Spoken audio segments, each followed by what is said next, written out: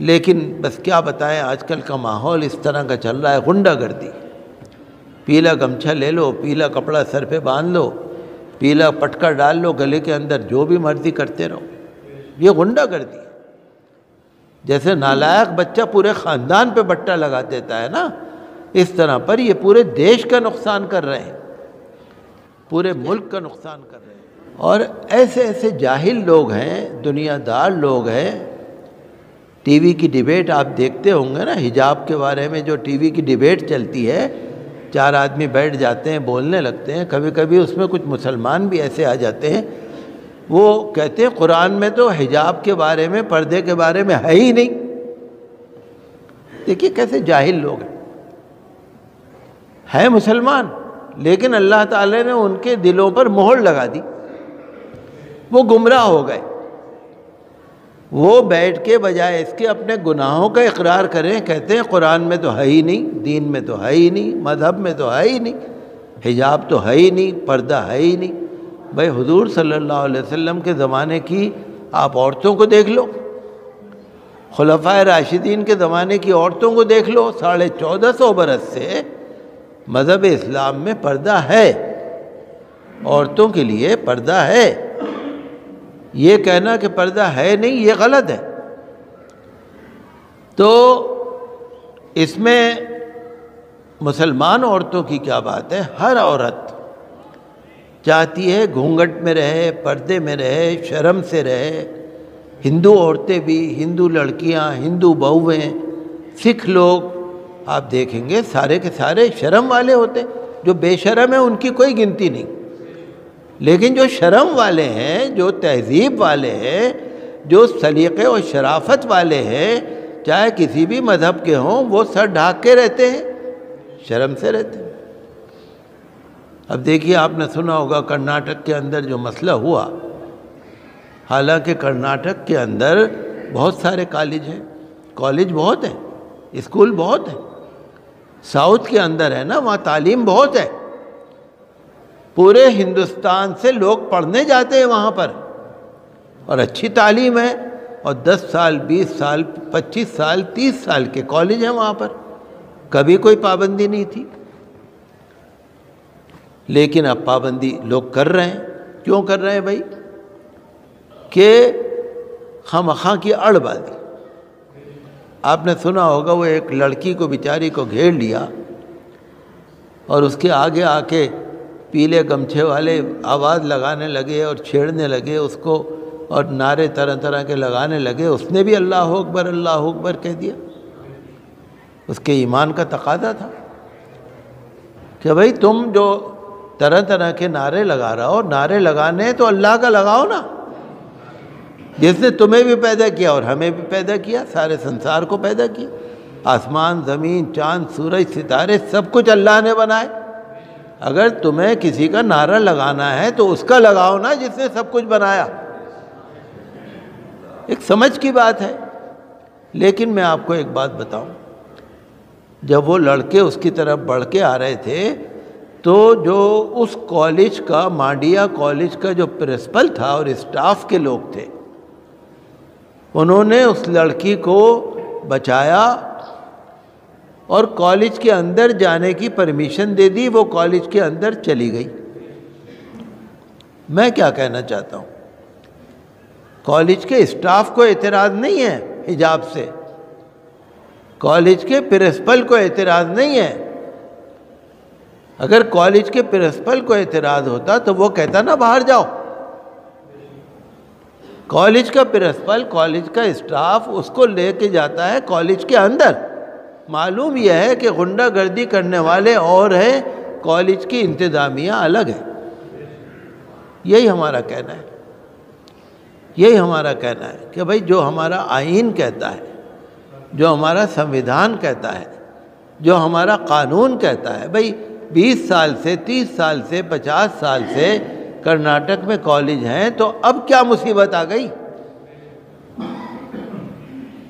लेकिन बस क्या बताएँ, आजकल का माहौल इस तरह का चल रहा है, गुंडागर्दी। पीला गमछा ले लो, पीला कपड़ा सर पे बाँध लो, पीला पटका डाल लो, गले के अंदर जो भी मर्ज़ी करते रहो। ये गुंडागर्दी।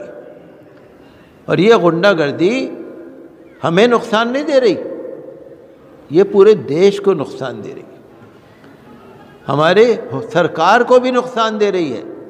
कर्नाटक की सरकार को भी नुकसान दे रही है। हम तो उम्मीद कर रहे हैं कि कर्नाटक हाई कोर्ट का फैसला आएगा तो हम उम्मीद करते हैं कि आइन के मुताबिक आएगा। देखिए, चाहे कोई भी हो, चाहे सिख मज़हब के हों, चाहे ईसाई मज़हब के हों, ईसाई मज़हब के लोग आपने देखा होगा, सर पे रुमाल बांधते हैं औरतें। हेड स्काफ सर पे बांधते हैं। भाई वो बाँध सकते हैं, जैसे उनका अकीदा है। सिख अगर है तो वो जिस तरह से अपने मज़हब के मुताबिक, अगर मुसलमान कोई है तो वो अपने मज़हब के मुताबिक, अगर कोई दुपट्टा बाँध लेता है, इससे किसी को क्या परेशानी हो रही है? मैं कुछ पहनूँ, आप कुछ पहने। ये मामला कॉलेज इंतज़ामिया को और उन तालिबात को, लड़कियों को हल करना चाहिए। बाहर के लोगों को नहीं बोलना चाहिए। आपने सुना होगा, मैं आपको एक मिसाल दूँ। कोई जैसे माँ बाप होते हैं, ख़ानदान होता है, बड़ा शरीफ होता है।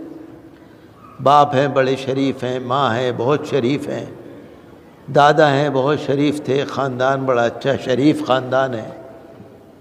अगर उस ख़ानदान में कोई नालायक औलाद पैदा हो जाए, अगर कोई नालायक औलाद पैदा हो जाए, कोई शराबी बच्चा पैदा हो जाए, कोई जुआरी पैदा हो जाए, कोई चोरी करने वाला पैदा हो जाए वो माँ बाप के भी इज़्ज़त पे बट्टा लगा देता है, पूरे ख़ानदान की इज़्ज़त पे बट्टा लगा देता है। लोग कहते हैं, मियाँ, इतने बड़े बाप का, इतने अच्छे बाप का, देखो कैसा नालायक बच्चा इसी तरह पे आज हो रहा है। ये जो नालायक औलाद है ना, ये पूरे देश का नुकसान पहुँचा रही है। जैसे नालायक बच्चा पूरे ख़ानदान पे बट्टा लगा देता है ना इस तरह पर ये पूरे देश का नुकसान कर रहे हैं। पूरे मुल्क का नुकसान कर रहे हैं। बाहर विदेशों के अंदर, बाहर मुल्कों के अंदर बड़ी बदनामी हो रही है और बदनामी हुकूमत की नहीं हो रही, इन्हीं लोगों की वजह से हो रही है कि ये लोग अगर इस पर कंट्रोल हो जाए तो हम तो यही उम्मीद रखते हैं कि हाई कोर्ट से जो फैसला आएगा वो अच्छा आएगा।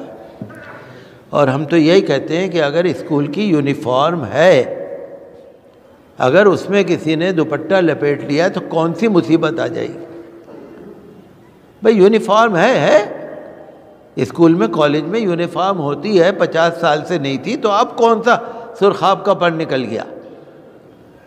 बहरहाल, हम तो यही चाहते हैं कि ये जो गुंडागर्दी करने वाले हैं, शरपसंद लोग हैं, शरपसंद अनासर हैं, हजूमी तशद वाले हैं, एकदम भीड़ की भीड़ आ जाती है, किसी बेचारे को किसी को पकड़ लिया, किसी को मार दिया, किसी को सज़ा दे दी, किसी को हंगामा कर दिया, ये जो मॉब लिंचिंग वाला है, ये जो मॉब शोर है इनके अंदर, इसके ऊपर अगर कंट्रोल नहीं पाया गया तो आज शायद ये किसी को फ़ायदा पहुँचा रहा हो, लेकिन पूरे देश में इससे बर्बादी पैदा हो जाएगी। गुंडागर्दी अगर किसी को आ गई तो वो फिर गुंडागर्दी करता रहेगा। और हमें पूरी उम्मीद है कि इन हिंदुस्तान का अगर गुंडागर्दी पर कंट्रोल हो गया तो इन हिंदुस्तान का नाम बहुत ऊँचा होगा। लेकिन अगर इस पर कंट्रोल नहीं हुआ तो आज या कल हिंदुस्तान का बहुत बड़ा नुकसान हो जाए। लोग कहते हैं, हिंदू राष्ट्र बना दो। भाई, नेपाल हिंदू राष्ट्र बना हुआ था, क्या हो गया? आप हिंदुस्तान को भी हिंदू राष्ट्र बना दोगे, क्या हो जाएगा? कुछ नहीं हो जाएगा। जो बाहर इज़्ज़त है, वो कम हो जाएगी। मिलजुल के रहना, हिंदू, मुस्लिम, सिख, ईसाई, सब लोग प्यार से रहें।